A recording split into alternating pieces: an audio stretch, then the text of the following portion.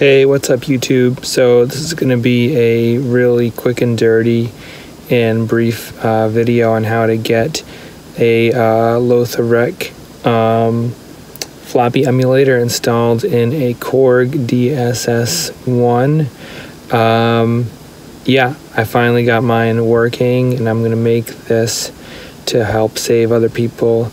Um, yeah, some of the pitfalls that uh, and difficulties that I encountered along the way. Although, yeah, there were a lot of great, um, you know, videos out there, but hopefully this will help some people. Um, so yeah, let's get started. So this is my DSS1, and as you can see, I have the uh, emulator installed already. There's other kinds of emulators out there. I'm really not sure what the similarities or differences are, so I'm just going to focus on the one I've got, which is uh, uh, made by uh, Lotharek, uh, who's awesome. Um, yeah, so I already got it set up and everything, so I'm not going to go through, um, you know, the entire uh, process. I'm just going to, from the point of view of having it done, show you how I did it. So, um, basically, you know, the first thing that's got to happen is you got to open up the DSS one, and um, so there's basically six screws you got to take out. One, two. Um, there's a little guy here, three, and then on the same side, on the other side, it's the same the same order, just mirrored on this side. Three screws over here. Okay, so uh, the back is hinged, so don't unscrew the screws that go in the hinges because you don't have to do it.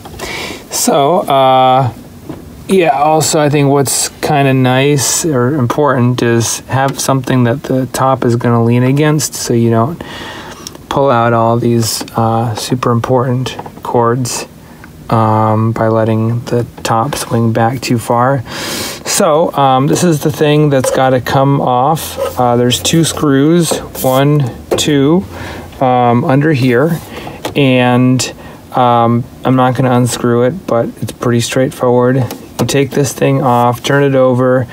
There's uh, four screws inside here um, that connect the floppy to kind of a metal uh, a metal rack.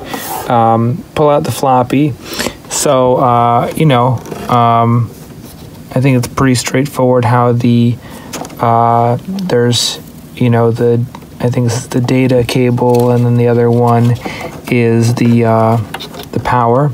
So, you know, the data cable, the red stripe ends up being kind of on the right side, closest to the keys when it goes in. Um, you know, the power one is pretty, pretty straightforward. Um, so, yeah, you get that installed, and uh, then, you know, you close it up. So, um, now let's check out the uh, software side, um, how to basically get your um, DSS1, um, you know, sounds onto your SD card in a way that the floppy emulator can read. So the first thing that's got to happen um, is you got to format the uh, SD card. I'm not going to go into the details, but it should be, I believe, uh, uh, FAT uh, 32, um, 16, uh, 12. I did FAT 32. It's a pretty common format. Um, and then uh, you got to make sure that you have your um, disk images and uh, let me pull up uh, mine. Okay, so yeah, here's a bunch of images um, that I've got. They're pretty easy to find online. Just search for Korg DSS1 uh, sounds or disk images. It's this format NDIF disk image. Um, so uh, what you have to do after you formatted your SD card is basically um, you have to prepare the SD card and get these disk images uh, reformatted for your SD card. Uh, so let's get into that. So this is um, uh, the software that we use um, to prepare disk images for the SD card and prepare the SD card to be read by the DSS1. So um, the first thing um, that you got to do is there's this little like uh, uh, like config file that basically goes in the SD card. Um, so you click the SDHXC floppy emulator settings thing. Um, and these were the settings. I can't remember if I had, um, you know, changed anything based on what I read online, but you can see what's here. And then you basically hit save config file. It spits out one of these things. Put this in your uh, the root folder of your SD card. So I've done that already, so I'm not going to do that. And then uh, what you got to do is you have to convert those um, disk images into a format that the uh, DSS1 can read. So um, you do the, the, the raw image one. So load raw image. Okay. And let's see, um, predefined disk layout and you go to here it is uh, Korg DSS1 okay there it is. Um, load raw file. And let's see okay. So pick uh, I don't know Korg analog 5 that sounds like a pretty pretty banging disk right there. Okay open that up. Okay.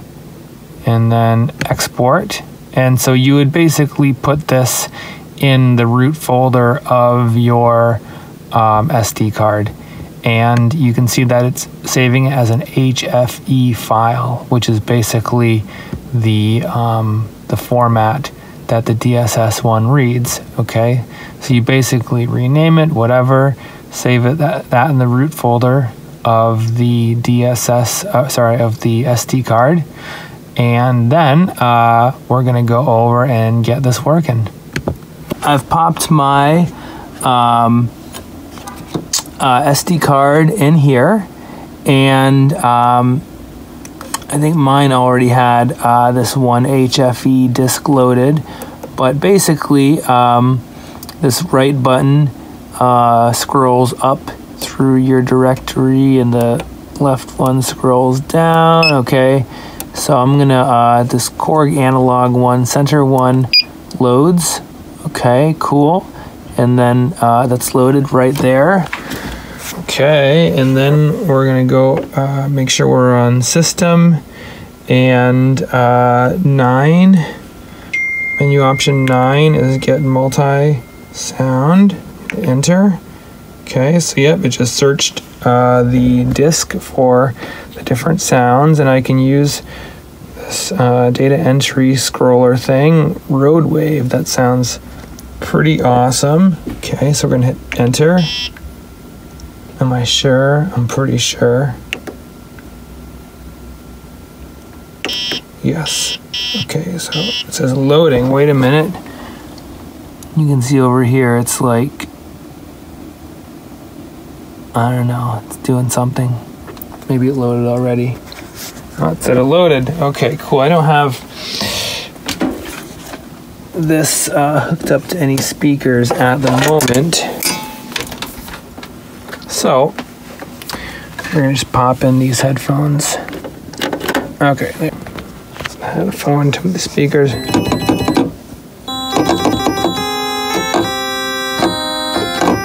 Okay, awesome. There's Roadwave.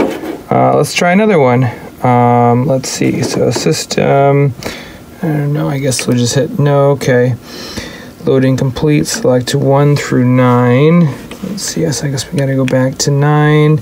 Multi sound. Okay, cool. Searching for sounds on disk. Maybe there's a better way to do this, but anyway, we'll just do this for now. And let's go for uh, Shaku.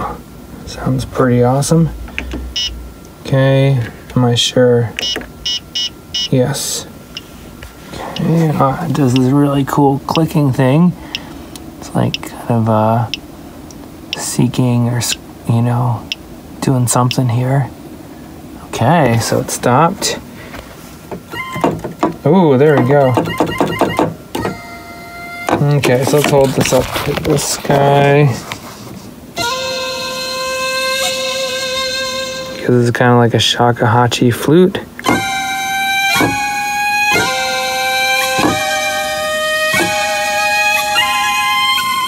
Okay, cool.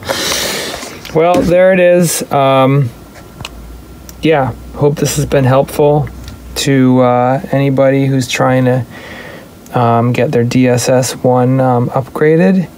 Um, yeah, so I'll put some of those uh, useful files in the comment section. And yeah, hope you enjoy.